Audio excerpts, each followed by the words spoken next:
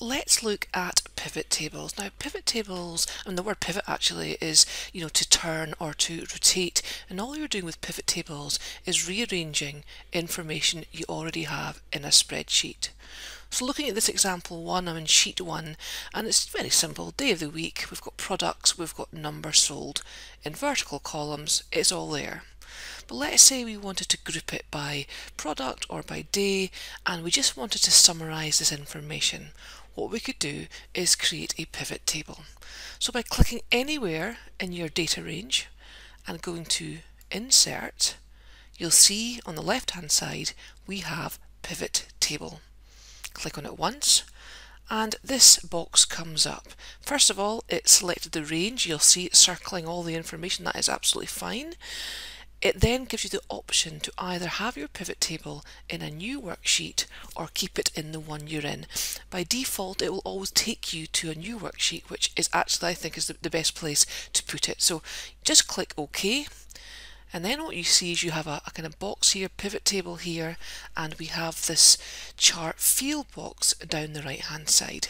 And you'll see that there's four sections here, and this essentially is where you can move your uh, fields that you've brought across from your um, original spreadsheet. And you know, at this stage, if you've never used a pivot table before, just really have a play about with it. So let's say I bring down day I'm just dragging it down two rows and you'll see all the days of the week have come down. So let's say I want to look at the um, type of products by, by day. So I could bring the product under column or I could have the day in the columns and I could have the product in the rows. You'll get the same information, it's just how do you want your information to show. I'll leave it as it is just now. So to bring in the actual numbers, we have to bring in the number sold down to values. And straight away, your table's still here, it's still all there, the data's still all there. You've got a new sheet with a pivot table and your information has been, been rearranged in a different way. There's a few things that we could change. So for example, where you see the text row labels, let's just call that, um, let's just call it product or fruit column labels. We could just call that, I don't know, uh, day. Now, this might not work. Oh, it did. Sometimes when you have a field name that's the same, it doesn't let you change it up here. But to, you, you, know, just just try and make sure that you put titles in that are suitable. Uh, sum of number sold, I think that that's okay. A few other things you could do, I suppose, that you could. Let's say the column widths are different. I might just go along and maybe just right click column width and maybe let's just select 18 for that. A little bit of consistency, a little bit of formatting you can do, but at the end of the day you've got your pivot table from sheet 1 just by dragging and dropping into place. Now, looking at the second sheet, uh, we've got another set of data. It's conference, packages, companies coming in, booking various details for the conference. And again, let's see if we can summarize this by showing by package detail and the sales value. So remember, just click anywhere in your data set, insert, pivot table, check the range, new worksheet, press OK, ready to go. So let's just say I want the package details in the row and the sales value, the total revenue under values. Couple of things I'll change first of all. Let's just uh, call this um, uh, booking details and let's just call this column column B total sales revenue. So we're just tidying up as we're going along.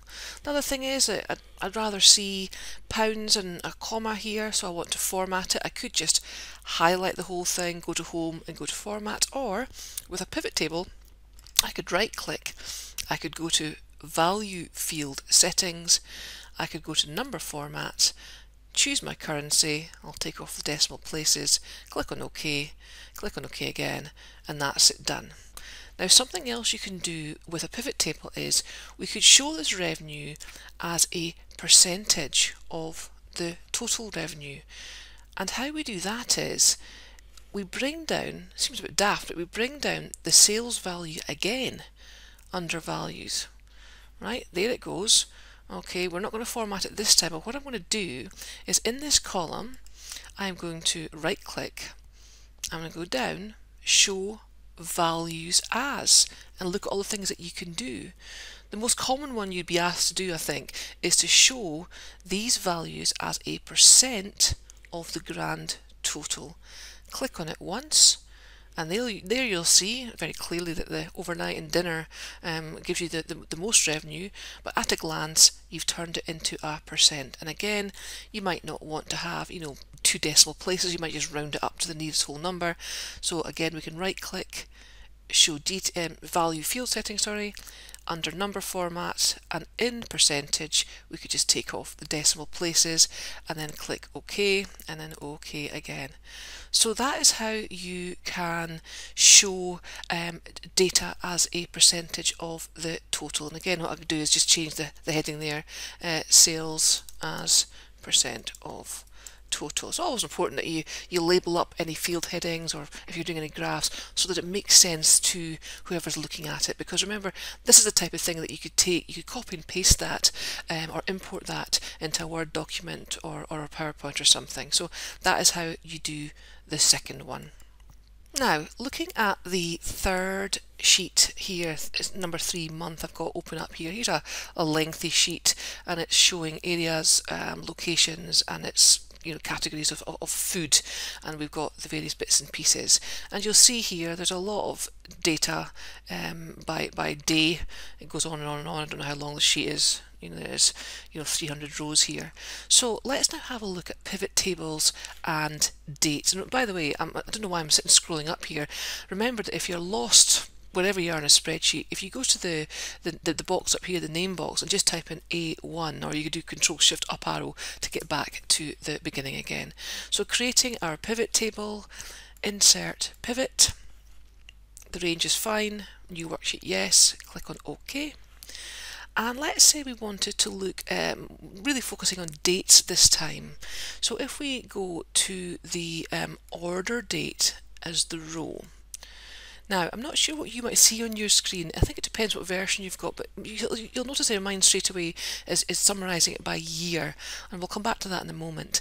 But let's just um, look at, we'll do it by, I think, category. Let's do that there. And then let's just bring down the total total sales value. And incidentally what I forgot to say earlier was we do have a filters box here. So if you wanted to look specifically at one thing so let's say we wanted to filter by by city or by town you'll see there it's come up here. At the moment we're seeing the information for everything. But if I click in the filter and let's say we're just looking at Aberdeen click on Aberdeen click on OK and um, that will show the Aberdeen um, figures only. Or click on all back to the beginning. Or if you don't want the filter just take it off. I'm just dragging it back up to the list. I'm going to quickly format this information here. So again right click and we're going to go to uh, value field settings the number format um, currency and I think I'll just take off the decimal places here. Click on OK and then OK again. Now You'll notice in my um, my field here that I have got here quarters and years are showing. So if I was to click on the plus arrow back now at my pivot table, click on the plus, you'll see there it's coming up with quarters, which I don't really want. So if we're looking to show information, the dates in a slightly different way, you can sort of untick the quarters there and now you, we're on to months. You can do it that way and if I did the plus here I could bring it there. And the other place that you can go actually is you'll notice on the ribbon there's a new um, section pivot table analyze and there's a section here and it's called um, group field and you'll see here that it does give you seconds, minutes, hours, days and then the months, quarters, years. If I was to click on days and take off the months and quarters and then click OK, that is actually giving me every single every single date, um, which you know you might you might want or you might not want. But like again, going back to the the um, the group selection is then you can say no I don't want that. I do actually want uh, the unclick that the months and the years. Oops. Now actually to get the months and the years but not the quarters I've used the control key to miss out the quarters and click on OK. So you know if you're working with dates there are options. Either see what you've got down the right hand side see what you've got on your pivot table go up to pivot table analyze and looking at your your group selection and your your your group field to work with the dates.